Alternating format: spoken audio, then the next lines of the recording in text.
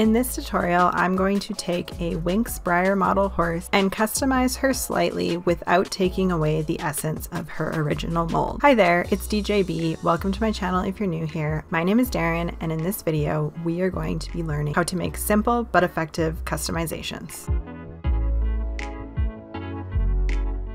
So the first step is choosing your model and I have quite a few bodies in my body box to choose from. A lot of these sculptures, I really enjoy parts of them and I don't want to take away parts of them that I think make them so likable and aesthetically pleasing. So like Totilas here has a really nice face a lot of people really like this model. This is a great example to use because we could add a completely new mane on him because he's already roached and his tail could be modified as well. His face could be detailed a little higher. And you can have a lot of fun retexturing and resurfacing some of these older sculptures as well. But for the purpose of this video, I have chosen Winx. And the reason I chose Winx is because I really appreciate the muscling in here that's happening. I really appreciate the legs and she just feels very thoroughbred to me and I really like the essence that exists and I think once you add a realistic custom paint job to this body form it's going to look very realistic and that's my biggest thing is a lot of these sculptures are nice but with the OF paint job it's not as realistic as it could be. So if we add a realistic paint job, Totilas suddenly looks like he would be a resin sculpture. And that's essentially my perception of what makes a good Breyer for customizing and what doesn't. I don't love her mane and I don't love her tail. And we could make her face just look a lot more realistic. And now this model doesn't have terrible ears on it either. These ears actually have quite a bit of personality, but we're probably going to just resculpt her new ears because it's easier to start fresh in my opinion. And if I, we twist this ear, flick it back, flick it, flick both back, or flick both to the side, we'll see that we can change her personality in just that element alone. And I will be analyzing that and changing that as we go forward. But I also would like to update and modify her nostrils. A lot of Breyer models from the factory don't have the most realistic mouth and muzzle and that's mainly because they provide the air hole in the face. So that'll either be in the nostril or in the side of the cheek, and that causes problems with prepping and making a realistic looking horse. So I like to remove that, and by doing so, we're gonna just remove the whole muzzle because the molding kind of makes things a little bit wonky sometimes. Although her nose is not that bad, that's just what I personally prefer to change in my models, and that's what I changed on Jorg, and he turned out really cool. So here I am just using this Dremel 100. My original Dremel has broken, so this is a good example that this is the cheapest Dremel you can buy and it still works really good. I'm also going to be using a mini hacksaw that's by Husky, and I'm going to be wearing my studio clothing. You have to remember to be super safe when dremeling, so I put on this respirator mask with particulate filters, and I tie that back with my hair so that my hair is out of the way and I would recommend always tying your hair back if you have long hair. Safety glasses are super imperative for this phase as well and I like to wear a nitrile rubber working glove. So taking Winx here, I always start with the hacksaw just because I find there's more control and it's a cleaner cut and it's less intimidating. The Dremel cutting wheel kind of freaks me out. So using the hacksaw is an easy beginner way, I think, to removing pieces from Breyers. And it can be a little tricky with tails sometimes to get the right angle to be able to hacksaw. The hacksaw will often like slip and so I find the best position to put the model in is actually between my knees. And that's slightly dangerous, so you have to be really, really careful not to nick yourself. But I find that hold works the best. And here we have the tail popping right off there. But that leaves us with a lot of extra plastic. I also will use the hacksaw to remove the ears and I just do this really gently and you'll see me pause and kind of tip the hacksaw out to test how loose the ear is and I can just pry it off there because I don't want to hacksaw all the way through and then have this hacksaw slip and land in my knee. So I'm really careful So she is without ears. And I'm just going to take that Dremel with my sanding drum and sand down all those imperfections with the Dremel. So the mane actually just Dremels off fairly easily, just smooth, slow strokes. And I can also go in and remove where the ears were. And you go really, really slow not to remove details that you don't want to remove from the face. And then I'm also going to be removing the muzzle here. And that is a super gentle process of just slowly removing the plastic. I want the nose to be a peak in which I can sculpt new nostrils on top of. So I remove all the nostrils, all the lip detail, and the chin so that it is a fresh slate to work from.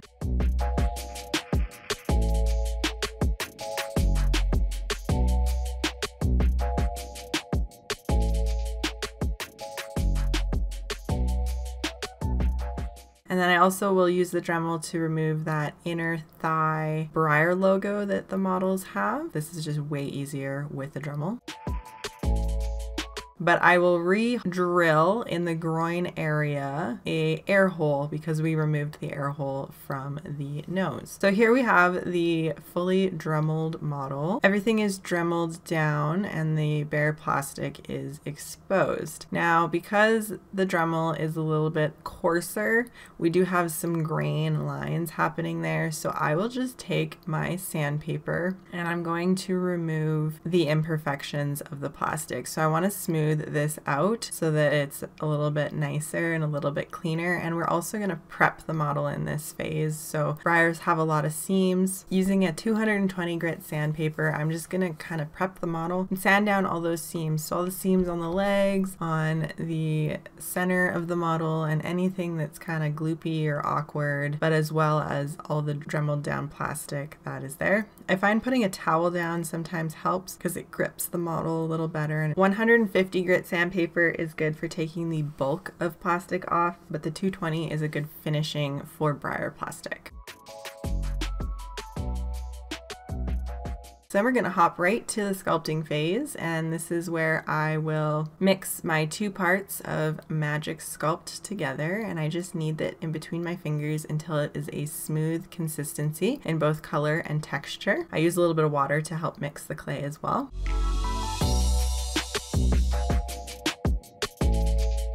And then I'm just going to place the clay over that dremeled section. So we can't fully sand out all of the imperfections that the Dremel left, so I'm just going to add a super thin layer of clay over top of the neck so that it is a smooth surface to paint the new mane on top of. Now here you can see I'm just pushing in with my thumb, doing all of this with my fingers, and I am adding a little bit of 90% isopropyl alcohol, and that helps smooth the clay even more so. I find with Magic Sculpt in specific, it works a lot better with alcohol. I find epoxy works quite well with just water, but you can play around with your preferences on which you prefer. And the biggest thing that we want here is smooth seams. So you want that clay to look like it is a part of the model without having to sand a ton. I want to build this neck back up, but I want to make sure that all those edges are really smooth and that's just pushing as hard as you can with your thumb and tapering out the edges.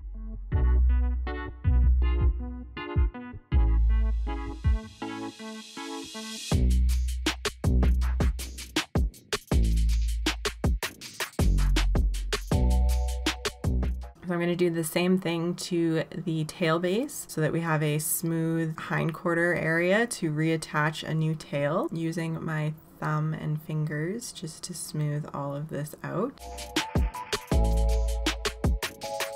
And then I'm also going to create a kind of butt crack, if you want to say.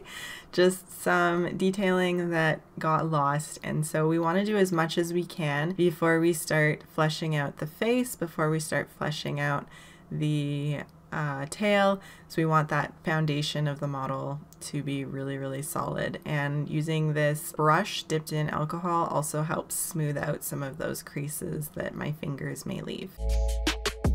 So there we have the model and we're gonna let this horse cure overnight. Once it's cured, we can come back in with some sandpaper and we can sand down those edges. So we're going to add additional sanding with a 220 to 400 grit sandpaper. And this is just going to smooth out those seams even more so. And you can see I'm wearing my respirator because this epoxy dust is a lot finer and a lot more annoying on your lungs. So I recommend being careful when you sand this stuff. And I'm just going to continue to make it great. You know, the more you spend on this base kind of layer, the better outcome you're going to have and the less prep you're going to have. And I'm just going to be able to sculpt a mane on top of this and it will look perfect and seamless. So that's my biggest thing.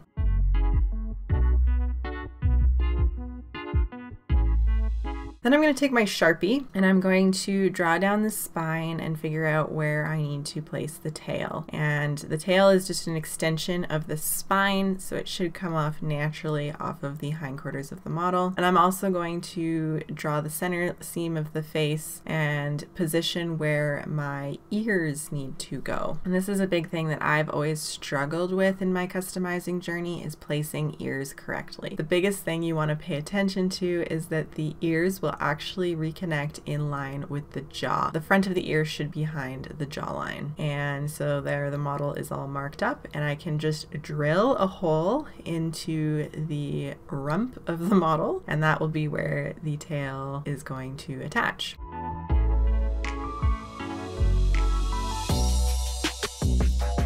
So adding my wire into the model, I will use a drill bit the same size as the wire. And the biggest thing for tails is that you want to measure approximately where the tail would hang if it was straight. I find that if you're doing a swishy tail, you can get a little out of control with how long the tail is and if you were actually to straighten it out, the tail would be way past the ground. So you want to start with that tail in the full length position and then start twisting it into your swishy position.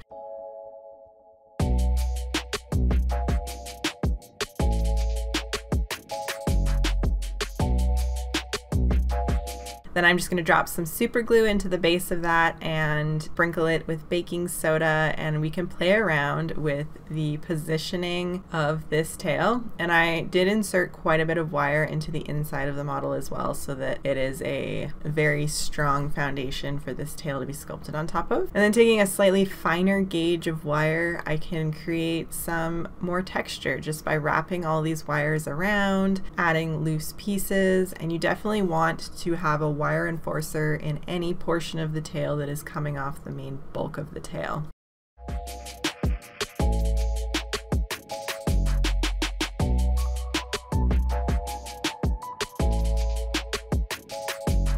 Using these pliers, I'm just squishing the wire so that it doesn't move. And I look at the model from all angles as well to see that the tail is naturally flowing in the direction that I would like it to then almost off the get-go, we can create a tail base. So I don't sculpt right up into the hindquarters of the horse. I'll start slightly lower because this is just the base.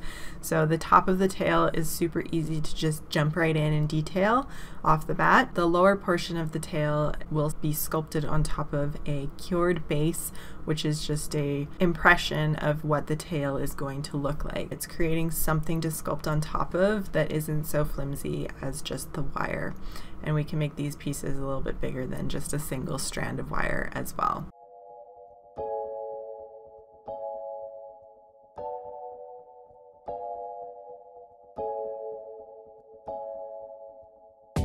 So once I have that and I'm happy with that, I will let it cure. And you can see that it is starting to come to life at all angles that the model is positioned at.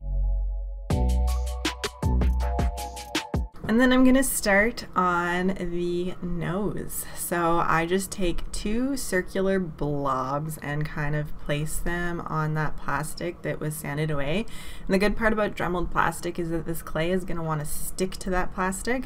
So a little bit of texture is good and you don't want to sand everything away because clay likes to stick to texture. And I'm going to just start free forming with my fingers and my clay shaper tool and smoothing out that seam into the nose of the horse as well. And then I will just create that nostril hole by pushing in my clay shaper tool and we can start to remove some of the excess clay to create that nostril flare. And so at this point I'm just sculpting the nostril. I'm not going to worry about the lip line or the mouth at all. I generally sculpt the nostrils first, let things cure, and then sculpt the lips. And I find my fingers are super helpful in this in just smoothing and reshaping that nostril. So this is a timely process and I really take my time here. This can take up to two hours or so to just sculpt the nostrils themselves. I find that they're super personable of the horse and whether they're flared or relaxed really says a lot about the expression of the model. And this is just a process of studying actual horse anatomy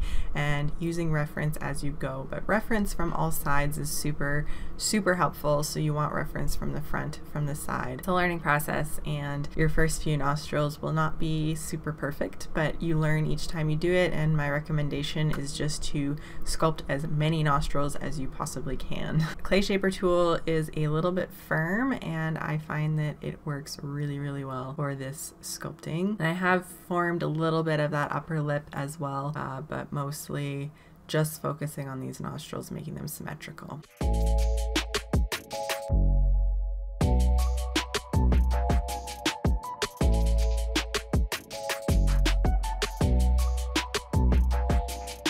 Gonna look a little awkward in this phase because she doesn't have her lips, but that's okay.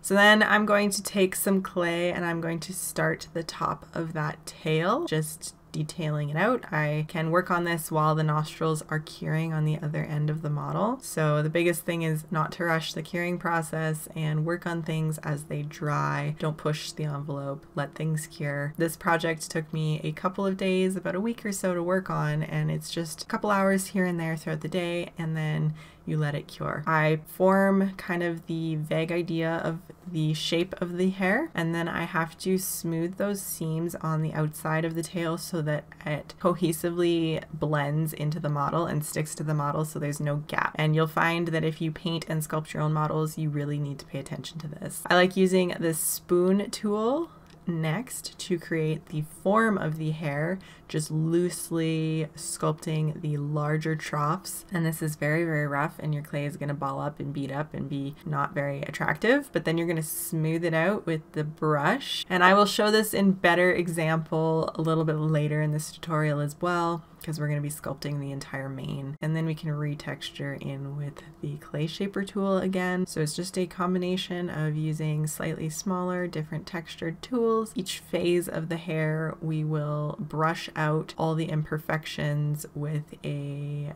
soft paintbrush dipped in isopropyl alcohol. And the final layer is always my gum stimulator tool, which is super pointy and super firm and creates a really final detail uh, edge and you can let the tail almost cure a little bit too in this process.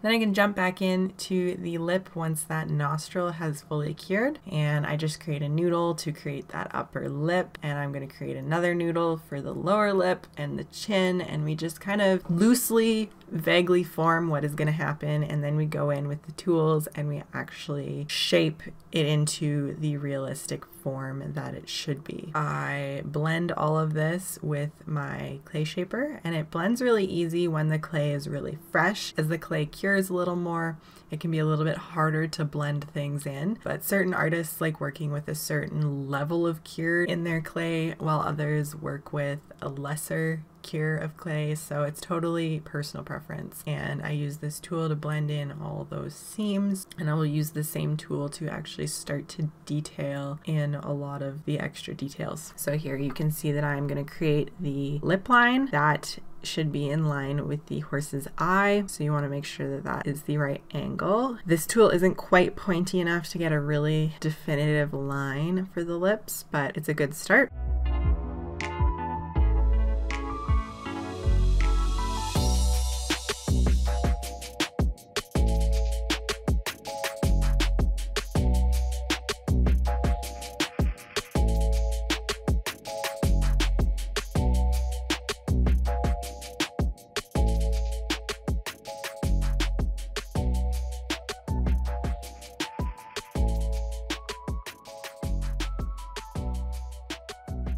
And I can also start to build up a little bit more on top of the nostrils. So if you do things really slowly and in chunks, you can always add more clay. It becomes a little trickier to remove clay. So I always try to work small, not cram too many details in in one sculpting session and then add more clay as I go and where I see that there is problems. So adding a bit of clay under the underside of the face also was necessary. Adding a bit of clay into the side of the face was also necessary to kind of match the Breyer model to my new sculpting way. It's a lot of finger manipulation, tool manipulation, and brushing out with the paintbrush. But really, I don't jump around to a lot of tools. I use kind of this clay shaper tool for majority of my sculpting, if not all of my sculpting.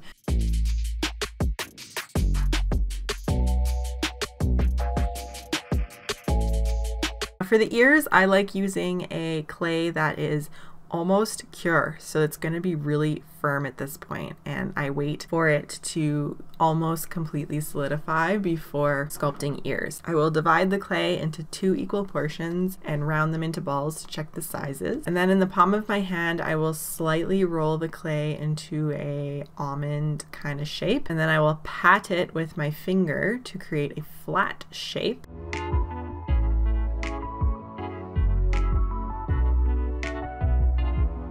And then I use this pointer tool to wrap the ear around and you can see because the clay is a little firmer it does that really easily and it, it's way easier to work with and then I essentially freeform the top with my fingers by just pushing in to create that almond ear shape. And sometimes I will sculpt the ear four or five times until I'm happy with it. So don't be afraid to squish it and try again. Both ears point slightly towards each other. So we need to point one to the right and point one slightly to the left. And then the base of it, I don't worry too much about because I will just attach this to the model and then I will sculpt the actual ear bulb and attachment when it is fastened to the actual Breyer. We can just tack these guys on there to really see the size and we can play with positioning while they're still wet. And because the clay is almost at the end life, it works really easy to be able to do this without completely smushing the ear. So playing with expression here is really fun.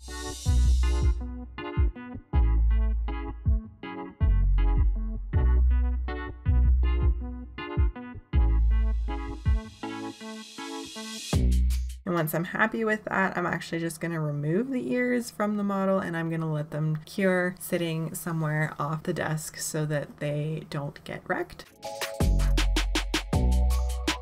And then I'm going to actually sculpt some of the extra facial detailing here so we can just add as many details as we want. And the more details we add, the more realistic this model is going to paint up when it's finished. So I'm adding in the skull details that happen above the eye and that got sanded off with the forelock and I can sculpt in some wrinkles in the armpit crease and the underside of the legs.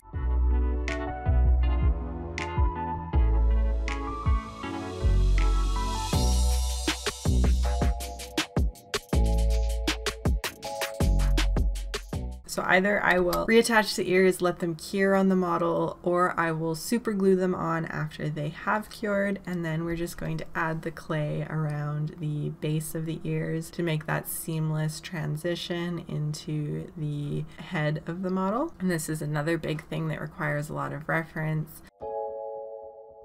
Now for the mane, we're going to start on that after everything else is cured. And I just take noodles of clay and I freeform them onto the model in the impression that I want to achieve. So my camera is a little out of focus for this footage, but they get slightly smaller towards the base of the neck. But you can see it's really, really rough and it's just the idea of the hair. And this is kind of the drawing phase where you can play with it and it doesn't have to be perfect. And you can remove pieces before you fully sculpt them on. So I flipped a little bit of mane onto the opposite side of the neck here and I'm just taking some alcohol, that clay shaper tool, and I'm creating that seam. Biggest thing for the hair is blending it into the body of the model.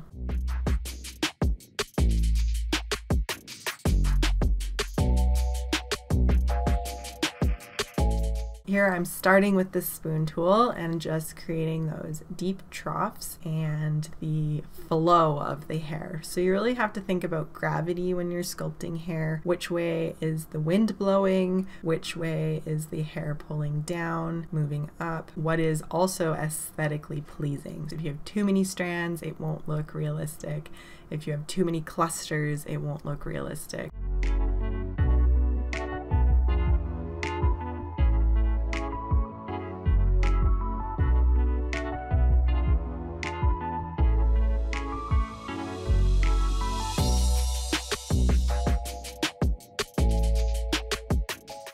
Attention to the offside of the mane too, where it attaches into the neck. And that's a common error is just to sculpt the mane and then worry about that later. You really want to worry about the whole mane. And I can do this entire mane in one session with all of the clay on the horse at one time, which is generally not a push uh, if it's a shorter kind of down mane like this. If the mane is super dynamic and it's free flowing in the wind, I do take several days to sculpt it in several phases. So like the tail for example, took three days or so to sculpt in different chunks, three or four chunks.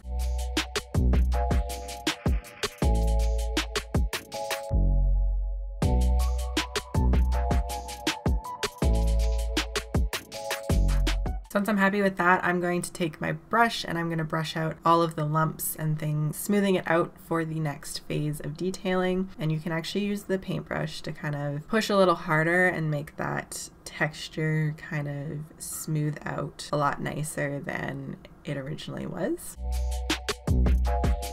And then I take my clay shaper tool, add some extra detailing the mane. So this is the same as what I did for the top of the tail, it's just on a larger scale. And essentially enhance all the details that I just sculpted with the spoon tool. So we just work our way from bulky sculpting to fine point sculpting. And really paying attention too to the connection of the hair to the actual neck so that there's no crevices or no creases or holes. That does come up up with painting. If the clay is just set on top of the model, you're not going to be able to prime under those under those hair strands and you're not going to be able to paint under those hair strands, especially if you're using an airbrush.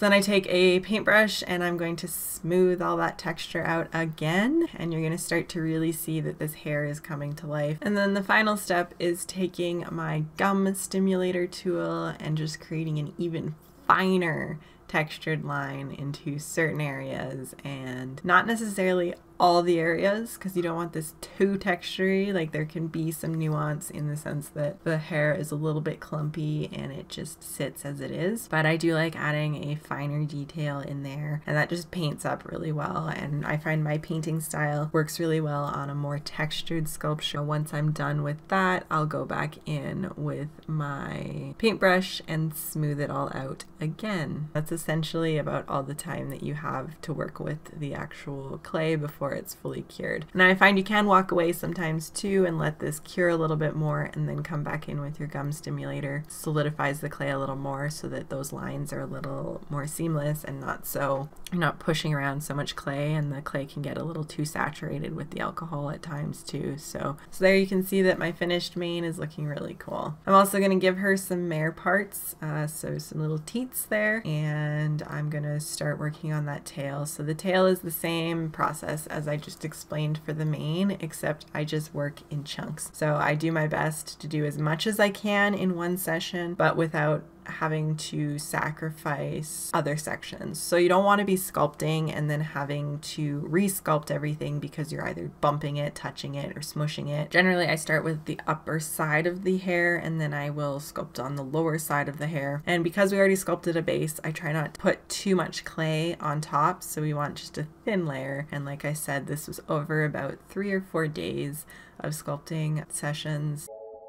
So there we have the finished detailed tail, which looks pretty sweet. And then I just take the model right away and give him a good prime. And this is just gonna help us see any imperfections. Before I even sand, I like to prime. So I'm using Duplicolor primer. I'm wearing my respirator and a glove and I'm just gonna cake on a layer here, but not too thick, just a thin layer. And then I will be able to see all the imperfections of what needs to be sanded and what needs to be fixed. So you can see I just have like little gloppies all over his body and we can take that 400 grit sandpaper at this point and smooth out all the imperfections. Primer works really well because it will create a divot of where there is a hole. So if I'm sanding up here, you can see that there's a line where the primer is between the epoxy and the Breyer itself. So you want to essentially remove that line so that it's a smooth seam that you won't notice.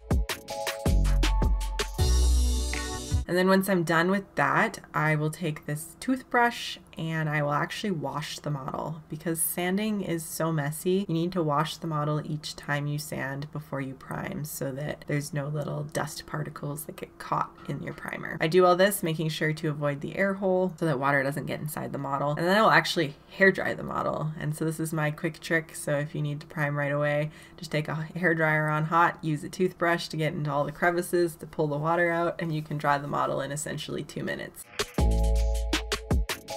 I'm also going to add some vein details to the model before I prime again. So this is a Pebeo Cerne Relief. You can easily add it, easily remove it if you make a mistake. It has a fine point applicator and you just drag this along while gently squeezing and I can create those veins in the cheeks, the veins on the face, and the veins essentially anywhere. I also really like using this for chestnuts.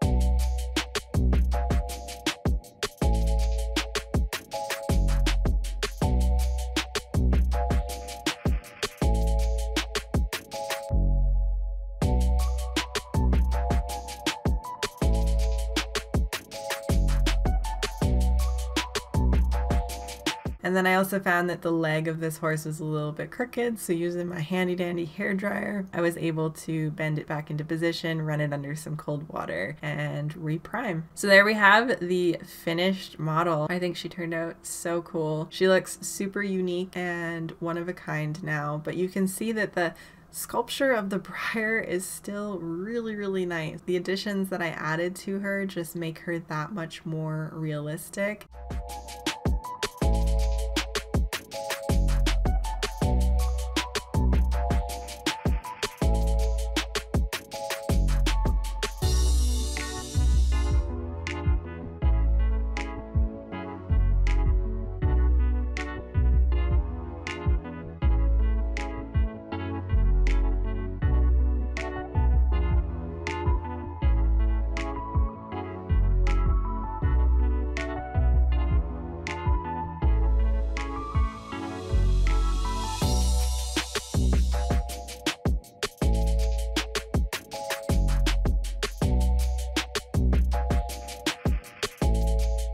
Much for watching. I hope you enjoyed this tutorial. Until next time, thank you so much for watching. I hope you learned something and happy customizing.